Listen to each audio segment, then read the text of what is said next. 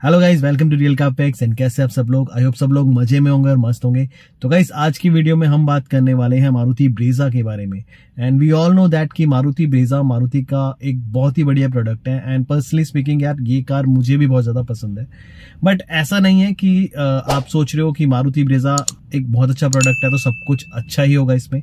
जैसे कि मैं पहले भी कई बार बोलता आया हूँ कि हर गाड़ी परफेक्ट नहीं होती। आपको हर गाड़ी में कुछ ना कुछ कमियाँ ज़रूर मिलेंगी। तो आज हम की वीडियो में हम मारुति ब्रेजा की ही कमियों के बारे में बात करने वाले हैं।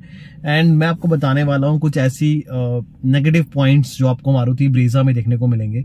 एंड अगर आप इन पॉइंट से एग्री करते हो uh, जो मैं आपको बताऊँगा इस वीडियो में तो प्लीज़ uh, मुझे कमेंट सेक्शन में ज़रूर बताइएगा। एंड आपको लगेगा कि अगर कोई पॉइंट्स मैं ऐसा बता रहा हूँ जिसपे आपको डिसएग्री फील कर रहे हो या आपको नहीं लगता कि ये पॉइंट सही है तो वो भी आप मुझे ज़रूर कमेंट सेक्शन में बताइए। तो गाइज़ सबसे पहले बात करते हैं सबसे पहले पॉइंट की, जो मुझे फील होता है कि मारुति ब्रेजा में एक नेगेटिव पॉइंट है। मारुति ब्रेजा जिस प्राइस रेंज में आ रही है ना, उस प्राइस रेंज के हिसाब से मुझे लगता है कि जो इंटीरियर क्वालिटी है, जो प्लास्टिक क्वालिटी यूज़ की गई है ब्रेजा में वो इतनी अप टू द मार्क नहीं है। काफ़ी हार्ड प्लास्टिक यूज़ किया है कई जगह एंड जो प्लास्टिक क्वालिटी है ना वो भी आपको इतनी बेटर नहीं दिखेगी। अगर आप कंपेयर करेंगे इस सेगमेंट की और कार से तो कहीं ना कहीं जो इसकी प्लास्टिक क्वालिटी है, जो इंटीरियर क्वालिटी है जो इसकी, वो आपको इतनी ज़्यादा अच्छी नहीं लगेगी।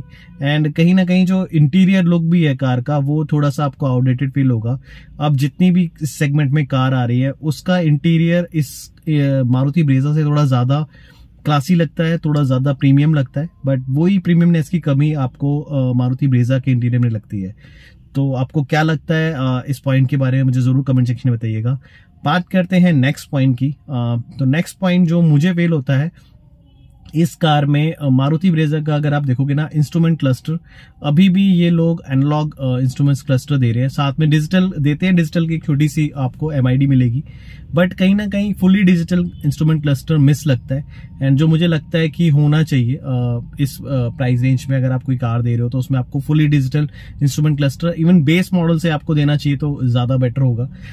जैसे ह्यूंडाई देता है ह्यूंडाई अपने बेस मॉडल से ही आपको fully instrument fully digital instrument cluster देता है। एंड मुझे पर्सनली फील होता है कि मारुति ब्रेजर जैसी कार में एक फुली डिजिटल इंस्ट्रूमेंट क्लस्टर होना चाहिए। सो so गाइज़ बात करते हैं अपने नेक्स्ट पॉइंट की। एंड जो नेक्स्ट पॉइंट है ना ये बहुत इंपॉर्टेंट पॉइंट है। एंड पर्सनली मुझे लगता है कि ये uh, तो ज़रूर इस कार में अपग्रेड होके आना चाहिए। ये कार 1.5 लीटर इंजन के साथ आती है। काफ़ी पावरफुल और सबसे बड़ा इंजन है इस सेगमेंट में काफ़ी अच्छी पावर भी प्रोड्यूस करता है। नेचुरल एस्पिरेटेड इंजन होने के बावजूद काफ़ी अच्छी पावर प्रोड्यूस करता है ये। बिकॉज़ इंजन बड़ा मिल रहा है आपको 1500 सीसी का इंजन इसमें आपको मिल रहा है। एंड कहीं ना कहीं आ, इस कार में जो मुझे फील होता है ना वो इसके गियर बॉक्स के साथ फील होता है। इस कार में आपको फाइव गियर ट्रांसमिशन मिलता है। एंड कहीं ना कहीं जब आप हाईवेज में चलते हो जब आप ज़्यादा स्पीड में चलाते हो कार को तो आपको वो सिक्स गियर की कमी ज़रूर फील होती है। एंड ये मुझे लगता है कि इसमें मारुति को काम करना चाहिए। एंड इस कार में एटलीस्ट सिक्स गियर ट्रांसमिशन आना ही चाहिए। तो जो सिक्स गियर ट्रांसमिशन की जो कमी है ना, वो सच में इस कार में फील होती है। एंड ये एक ऐसी चीज़ है जिसको मारुति को जल्दी इसको दूर करना चाहिए। बिकॉज़ अच्छा प्रोडक्ट है सिक्स गियर ट्रांसमिशन के साथ आएगा तो और ज़्यादा अच्छा हो जाएगा। तो ये एक पॉइंट है जो मुझे लगता है कि ब्रेजा में एक नेगेटिव चीज़ मुझे लगती है। सो so गाइज़ अब बात करते हैं अपने नेक्स्ट पॉइंट की। नेक्स्ट पॉइंट की अगर मैं बात करूँ तो इस कार में मुझे कहीं ना कहीं फीचर्स की थोड़ी कमी लगती है। कंपेयर करूँ इसको इस सेगमेंट की बाकी कार से तो फीचर के मामले में कहीं ना कहीं ब्रेजा थोड़ा मुझे पीछे दिखती है। काफ़ी चीज़ें इसमें मिसिंग लगती है मुझे, जो कि फीचर्स बाकी कारों में मिल रहे हैं। तो फीचर्स एक ऐसा पॉइंट है जिसमें मुझे लगता है कि ब्रेजा को थोड़ा और अपडेट होने की ज़रूरत है।